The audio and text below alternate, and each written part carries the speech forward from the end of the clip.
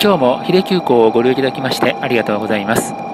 今回は300円で乗れる500系新幹線博多南線に乗るをお送りします。どうぞよろしくお願いします。博多南線は博多駅から博多総合車両所までの間の路線で JR 西日本の路線です。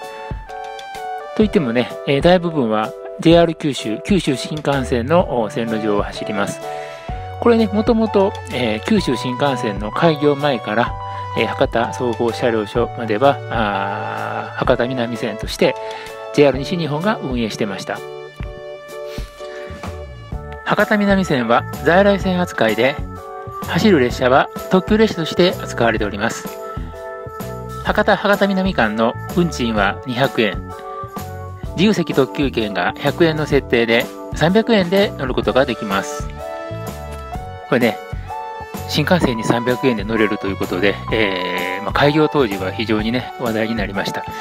私もね、前々からやってみたかったんですけども、今回やっと実現することができました。オープニングの映像でもご覧いただきましたが、新大阪駅から小玉731号が博多駅に到着。そのまま博多南線11時17分発特急 731A 列車になります。博多駅の停車時間は2分。早速、車内に乗り込みます。博多駅から博多南駅までの所要時間は約8分です。その間、500系新幹線の座席を味わいます。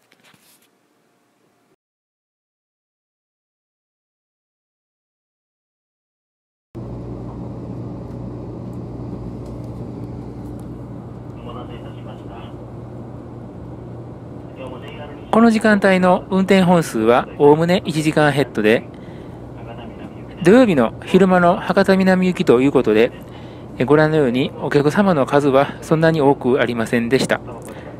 とは言ってもね、8両編成なので、トータルするとそこそこの乗車があったものと思います。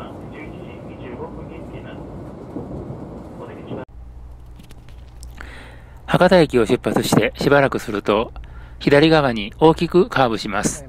この時ね、えー、ご覧のように、すごく車両、車体が傾いて、えー、関東のきつい区間を通ります。こんなにね、関東がついて、えー、車体が傾く区間って、新幹線であまり他ではなかったように私は思うんですが、いかがなんでしょうかね。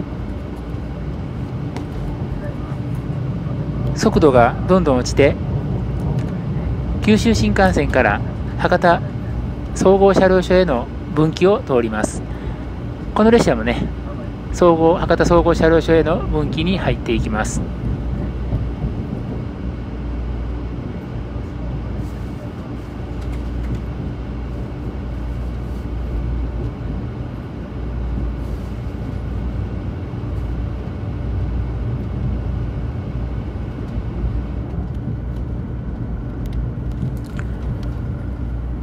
左側の車窓に山陽新幹線の車両群が見えてくると、そろそろ博多南駅に到着します。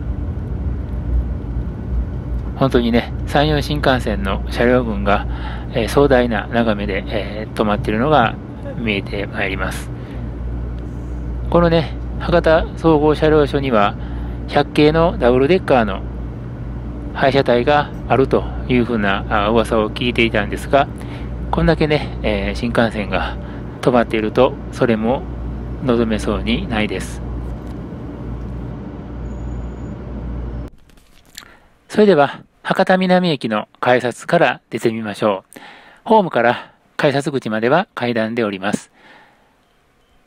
で、え改札口に、えー、特急券と乗車券を入れて外へ出ました。博多南駅の駅前です。九州新幹線の高架橋が伸びています。